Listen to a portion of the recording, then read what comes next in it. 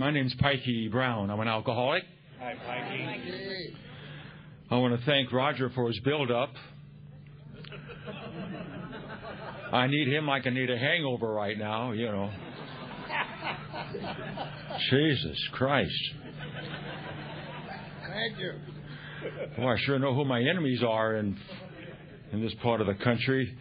Uh, you know, uh, some of you people here know the one from Bullhead and some here from Laughlin. That Pikey is not my real name. Yeah. Pikey is a nickname that I acquired 74 years ago over in the Hawaiian Islands on the little island of Kauai, Kapaa, Kauai.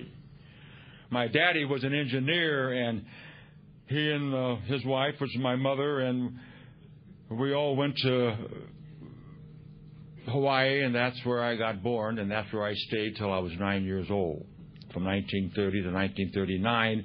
Then we moved from Kauai to Venice, California, and I stayed in that area up until about almost two years ago when I moved to Bullhead City. My real name on my birth certificate, my first name is Elwood. Capital E L W O O D. My middle name is Laverne. Capital L A, capital V E R N. Elwood Laverne. And that's the reason why I'm here today.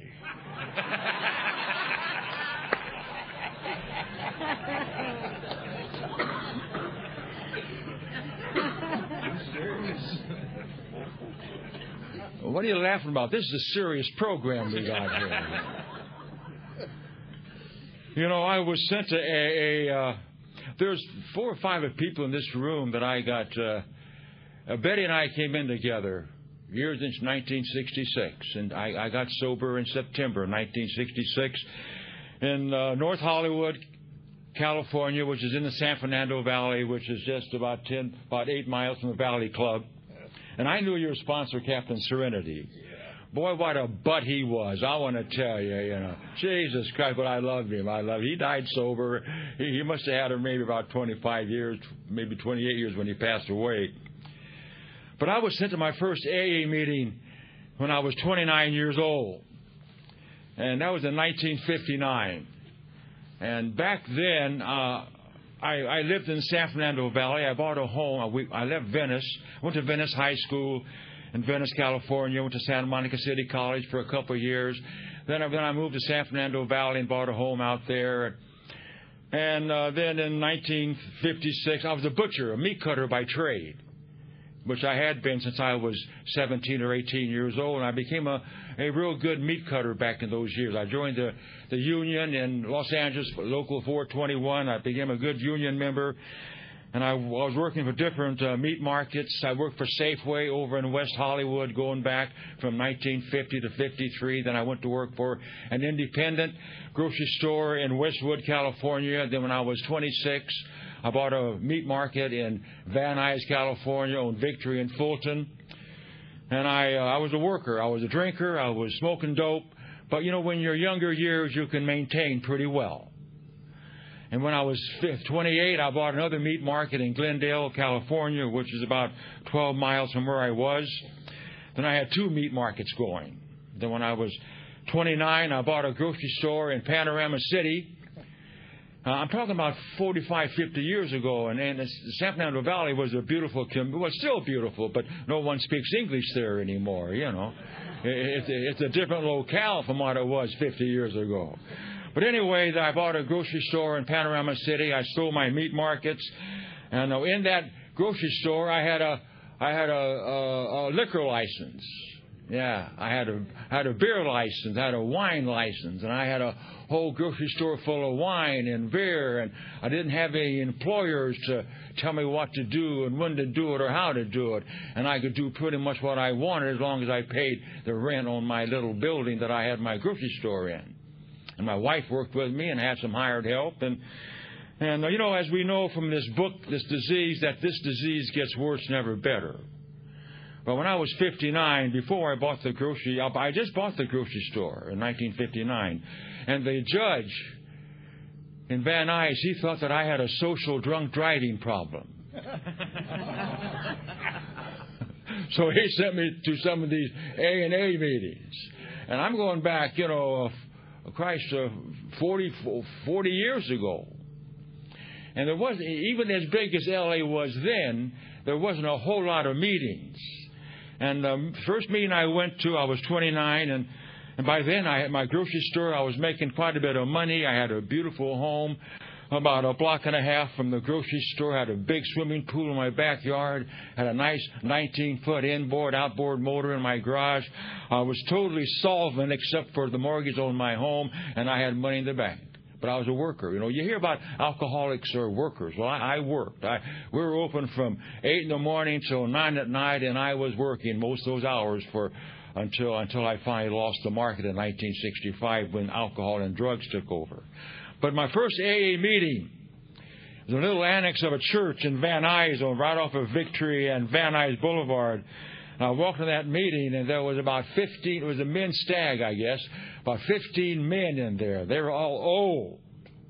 I was tw- I was a sweet, tender, you know, virginous type of 29 year old, looking good, looking good.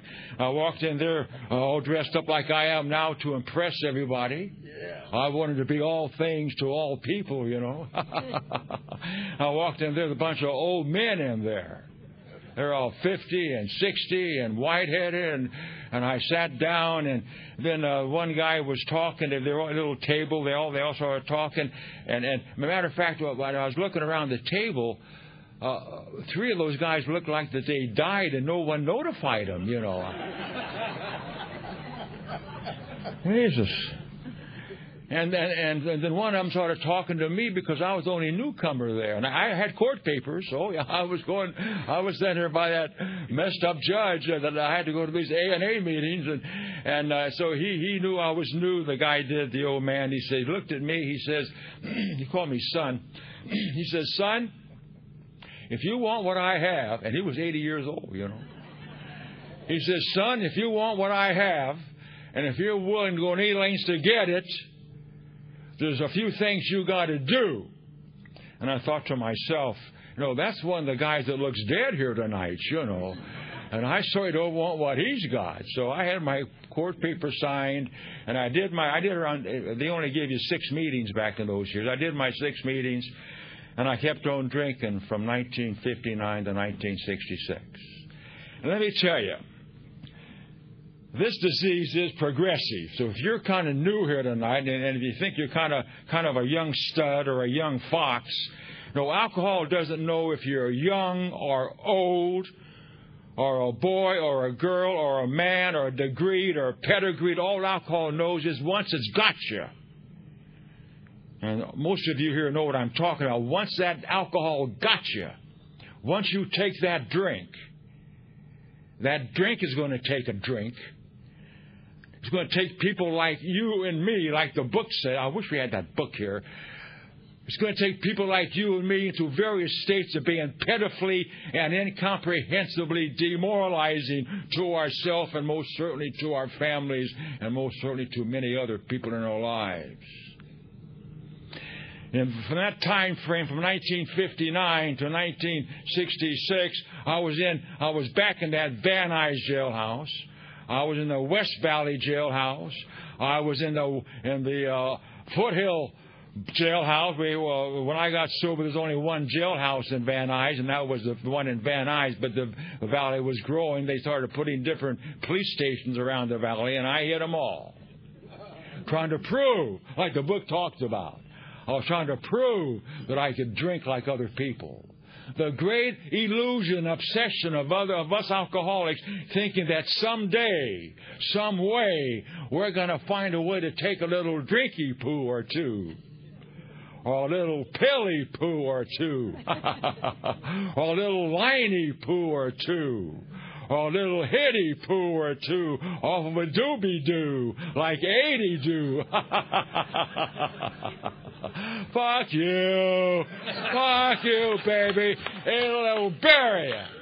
You know, you get that insane thinking, and baby, if you're a, like the book talks about, the real alcoholics, This is not Pussy Anonymous here. This is not where we come to get rid of the measles or the whooping cough or the flu. This is where we come to find God and find ourselves and get sober and get some sobriety and get our dignity and our self respect and our self esteem.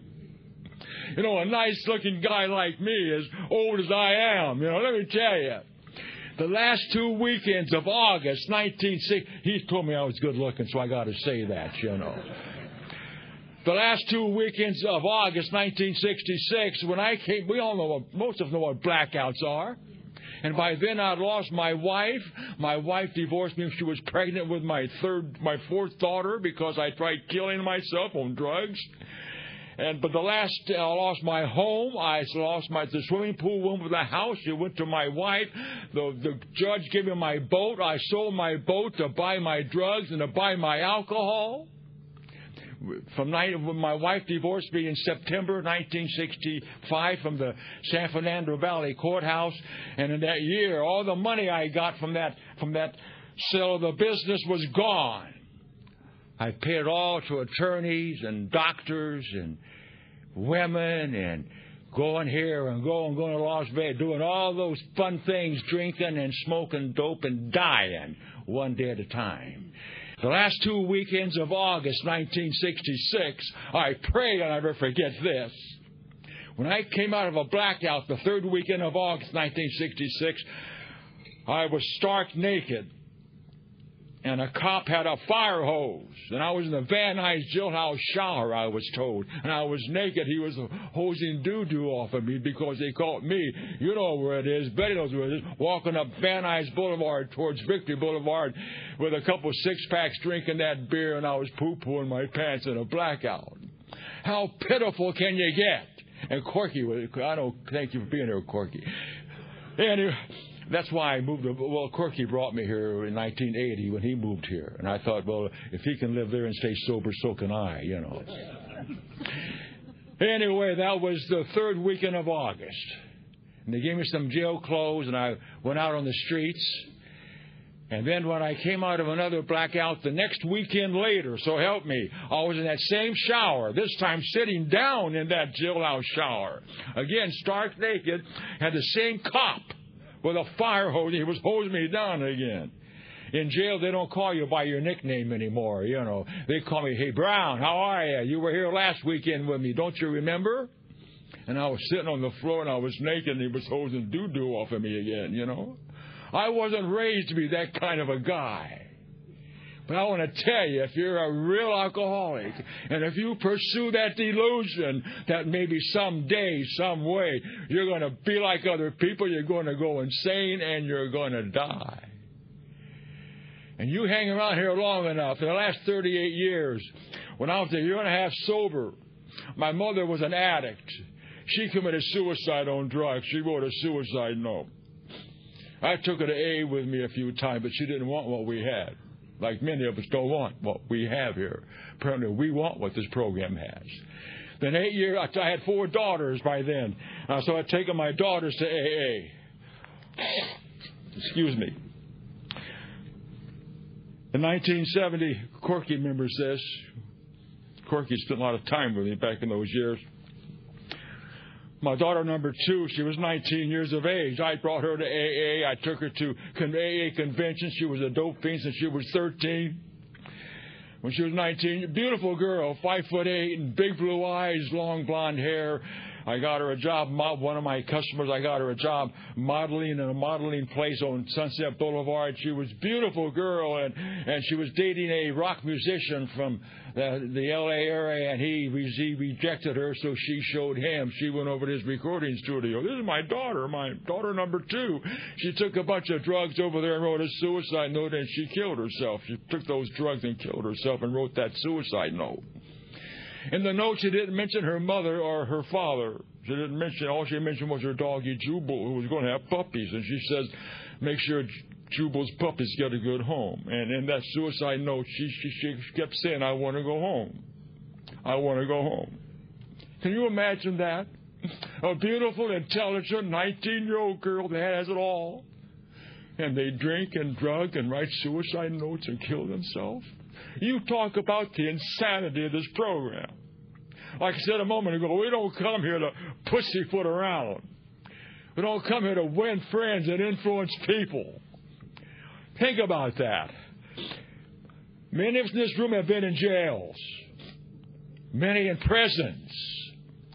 Many of us have been divorced three times like me and five, to- five times like, oh, oh, what's your name again? so why, do- why do you want to go to an AA meeting and try to be all things to all people in that room?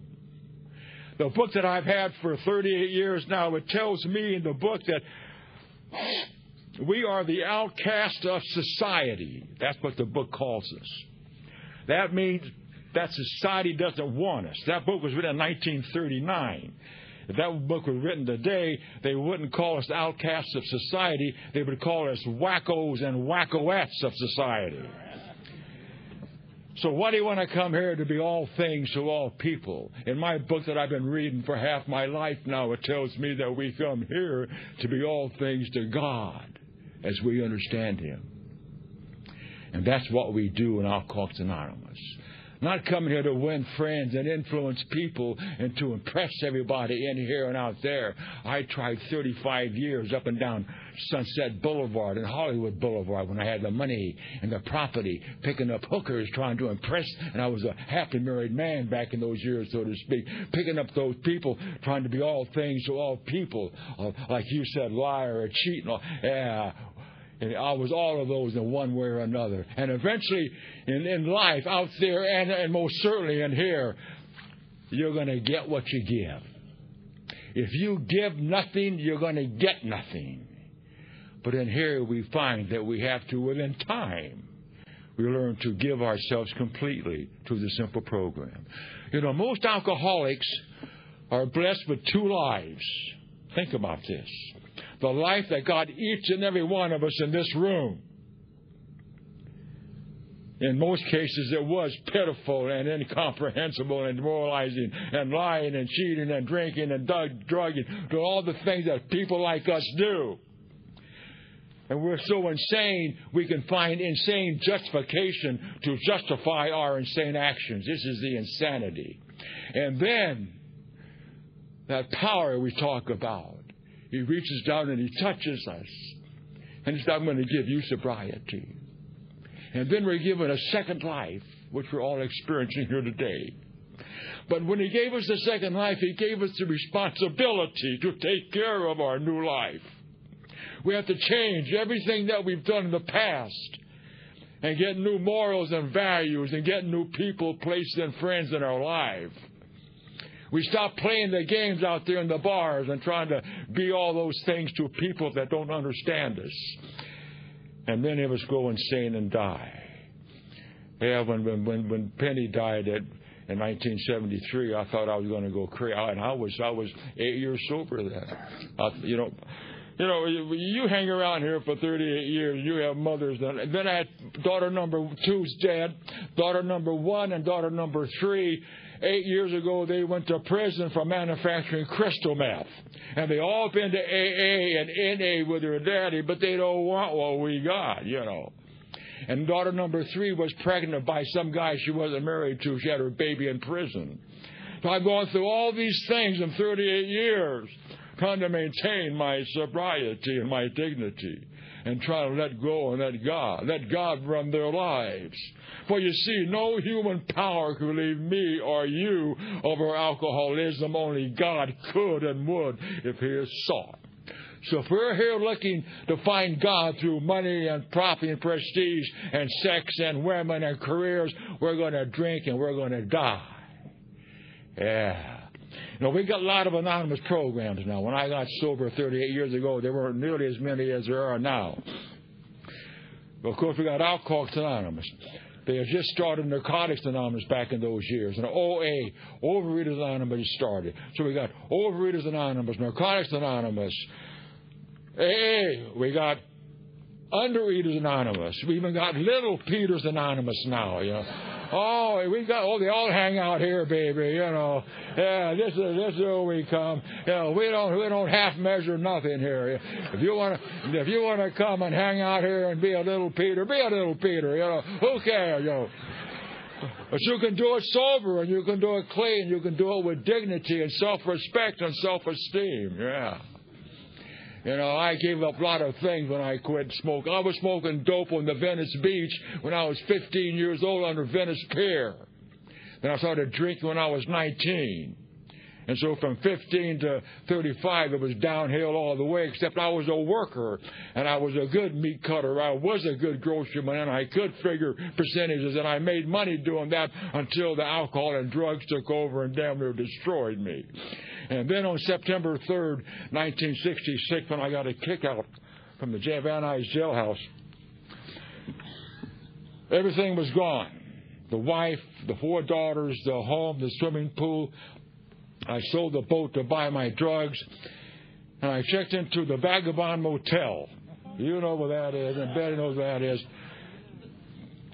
Corky knows where that is. It's gone, it's gone now, but I checked in there September 3rd, 1966 just out of the just out out of the jailhouse, and and I bought a case of beer. I made I made sure there was a liquor store right across the street. Yeah, I got to look ahead back in those days, baby, you know. And I bought me a case of beer, and I had some Reds. I love Reds. Oh yeah.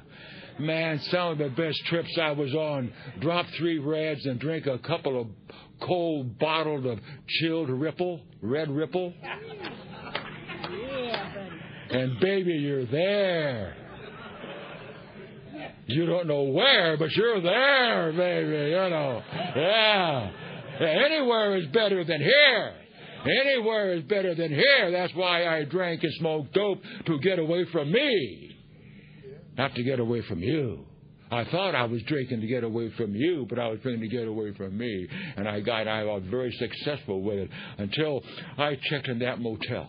I checked in the 3rd of September, and this is a fact. They don't have too many, there's no, not too many computers going back 40 years ago, but it's on record. In that motel room, I was drinking my beer and dropping those reds, and I bought a lid. A lot of you older people know what a lid is. I bought a lid, and I was smoking my dope and dropping those reds and drinking that booze. And that was on the third when I came to. So help me God. It was the 16th of September, 13 days I lost in a blackout in that motel room. I came to in the county hospital, literally strapped down. They give me alcohol in one arm, blood in the other arm to save my life, unbeknown to me, when I was in the bathroom pee-peeing. I passed out. I fell through the bathroom shore, bathroom door. I cut the left side of my head open, almost lost my left eye. My left ear was almost cut off. I damn near bled to death before they found me. Well, you talk about out there pussyfooting around. I had the same opportunity when I got here and when I was 29. I had the money and the wife, the loving wife who was trying to love me the best she could, as sick as I was. I had the daughters, the home, the swimming. I had it all, but I, I was one of those ones that pursued that delusion that maybe someday, some way, I will be like other people if it kills me. And God damn it, damn near killed me. So I came to in that county hospital and they unstrapped me. And then I went back to court. I broke my probation for drinking. And the judge says, you know, we're going to get you off the street. Uh, you're, you're, on the, you're, on, you're out in San Fernando Valley poo-poo in your pants. You're going to mess up our, my city. You're going to go back to jail. You're going to spend six months in Chandler Lodge. And Corky knows what that is. You, the people from, from, from the San Fernando Valley know the Chandler Lodge. He says, you stay there for six months. If you leave for any reason, you're going to go back to jail for six months. So I stayed there for six months, and that's where it was given to me. That's where God gave me what I got today sobriety. And in that six months, I had a lot of time to think, and I was writing stuff down, like my sponsor told me. He says, write all this stuff down, all these feelings you're having. So I started writing these feelings down. I kept them all. When I got out of the recovery home, I started reading these feelings, and I put these feelings together. One of them goes pretty much like this. For many years I wandered around with no place to go, like a king without a crown. In all my wandering, I was able to find a place or a home where I had peace of mind. But I continued to wander and I continued to roam, just looking for a place that I could call home. In all my wanderings, I was unable to find a place or a home where I had peace of mind. But I continued to wander and I continued to roam, just looking for a place that I could call home. And then that's when I found it. That's when I found that it's okay to be me. You know, sooner or later, every alcoholic will take their last drink. But we here in Alcoholics Anonymous, but for the grace of God, and only but for the grace of God, we live and learn to do what we're doing right this very moment to share our experience, our strength, and our hope. And maybe a little more difficult for some of us so called macho man in that recovery home 38 years ago. I was still living there 38 years ago. From September to March 1997, I lived there. In that recovery home, I found out that big boys do cry. I don't got to be a pillar of power in that recovery home with all those guys. It's okay to shed fears and tears. It's okay to be a human being. I don't got to walk in here or walk out there or walk up 95 or walk anywhere and try to be all things to all people anymore. I don't have to like everybody anymore either. I found I got to try to love them and accept them for who they are and what they are if they allow me to be myself. The people that I don't particularly care for, my sponsor said, we'll pray for them. I said, well, I pray for them. I wish they'd drop dead. Why do we pray for them? You know, what a waste of my time anyway, he, he said, pray. So, so after 38 years now, every night when I get home, I pray for the people I don't like. So I get my list out. I got about six pages. I half measure nothing, folks, you know. Pray they'll all try. Yeah, and I start praying for all these people by name. But I even went a little further than what my sponsor said. I even pray that each when each one of these people, when they die, they go straight to heaven tonight. yeah, you're out of here, sucker. Beam them up, Scotty. You know. Yeah, so I don't I don't walk into the, the Alano Club. You know, I've been involved in the Alano Club for 43 years now. They're necessary. To me, they're sort of a, a necessary evil. Some of the people who who hang out at the Alano clubs, uh, when they share, it's amazing. When they, they're so spiritual, they just sort of levitate out of the chairs and they float around the room. And then when they come across the river, they don't take the bridge, they sort of walk across, you know.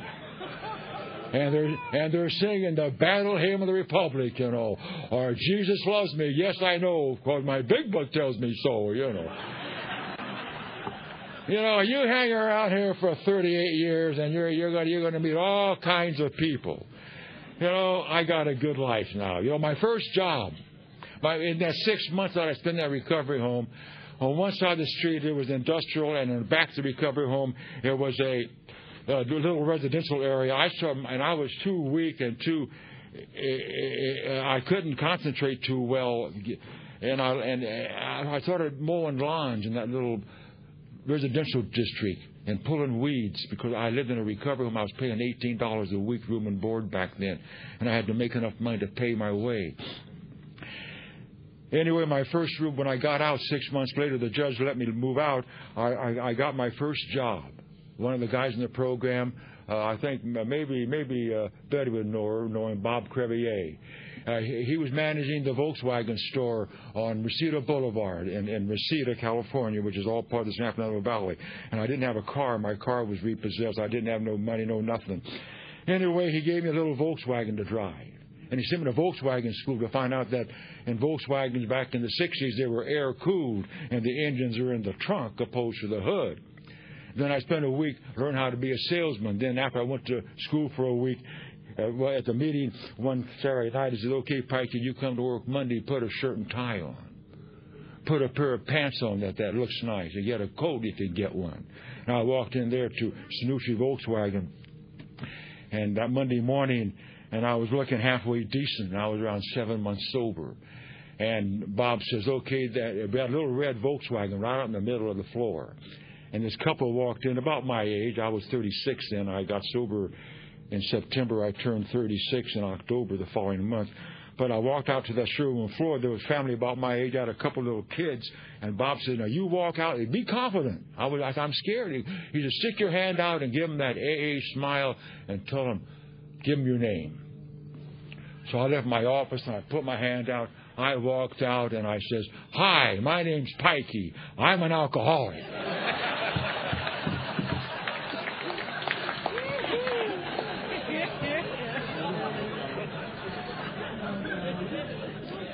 And honestly, I had no idea what I said. Because I was in that recovery home for six months, orientated to say, "Hi, I'm Pikey. I'm an alcoholic." I, I just came out, and, and they, and that couple, that family left, left.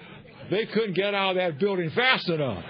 Well, they grabbed those kids, and man, they were like uh, Mach one, you know. And I walked back to my office, and Bob says, "Pikey, you did great." Except you don't tell them you're alcoholics. And so I had to go through some training processes then, but I became a pretty good Volkswagen salesman. Well, my time's running out now, but you know, this is a good way of life. If you don't want what you had out there, and you want to retain your dignity and some serenity and some self respect and sobriety and walk around, you know, we, we come here and every morning when I wake up and I have for half my life now, I ask my God to grant me the serenity to accept the things I cannot change, courage to change the things I can, and the wisdom to know the difference. And Rob was talking about me not getting married. Very briefly, 21 years ago, Corky knows about this. Corky drove me to Las Vegas to marry this girl. I haven't forgiven him for that yet. I married this girl. I was 53. I was, you know, pretty much looking like I am now. I married her. I was 53. She was 46. She was educated. Her only son was going to San Diego, San Diego State. I didn't have to support her or her kid. And I thought, well, and I loved her. And I married her. I came home work from sick one afternoon after five months, and I caught my new bride in bed with a woman my bride in my in a bed with a woman. You know, that fucked up my whole day. You.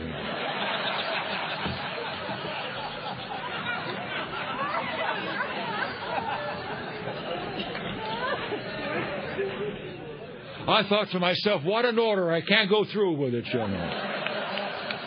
But I tell you what, every red blooded man will do, I jump right in the middle. There Yes, sir. No, I didn't do that, really. I kind of wish I would have now because she was a good looking gal, by the way. She was cute. Anyway, I divorced her, and that was uh, 21 years ago. Anyway, the way I stay sober this afternoon is that uh, I don't drink anymore, I don't drug anymore, and I don't get married no more and I don't die. Thank you so much.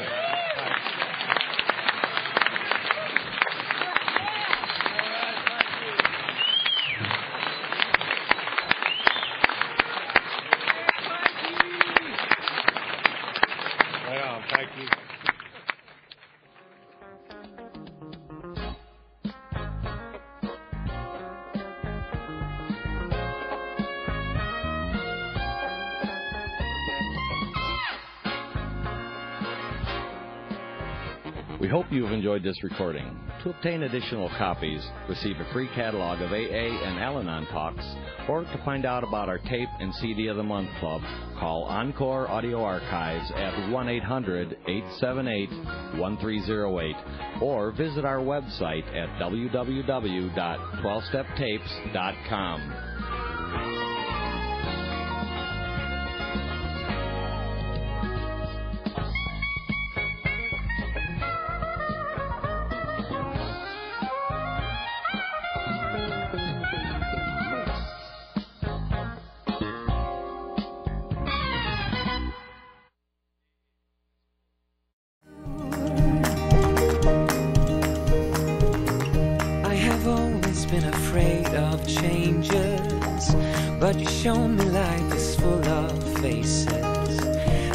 These clouds got in our favorite places, but we were young and unaware.